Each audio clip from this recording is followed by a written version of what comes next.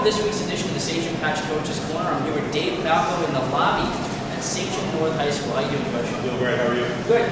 Big playoff win. You tied the school record for most points in a playoff game, 42-14 over Brentwood. Talk about that victory.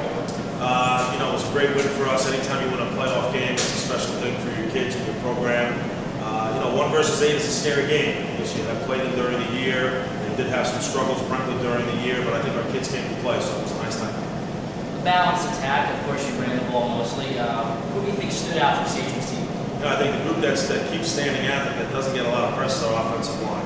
Uh, we have great running backs, but the great running backs would not be as successful without Timmy Lang and James Thompson and uh, Tita and Starling uh, and McDonald. The guy that they're really doing an excellent job for us so far. There was some drama in the fourth quarter about who was scoring and who had a first team and second team out. Can you talk about that from a coach's perspective?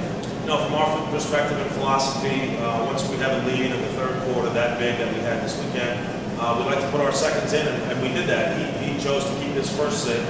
They wound up scoring two scores against us, and, and I felt at that point that that was enough. We were not going to let it go to 21, and we put our first back in, which, which scored against his seconds. Uh, you know, that, that, that happens sometimes. And really, I like to coach our guys, let, let those coaches coach their guys, and we'll make decisions based on that. Northport this week, you already played them once in the regular season. They held you to 28 points, which is the lowest amount of points you scored in a game. Talk about what you can expect this weekend. No, I think the thing that stands out about our first game is that we put the ball on the ground five times. They only had one recovery, but those five times really set us back and got us off schedule offensively. Uh, you know, our kids have talked about that this is the team that held us to the fewest points, 28. Uh, you know, that's something that we're looking to uh, do a much better job with. I think that Northport is a much improved team. They were one and four at the time.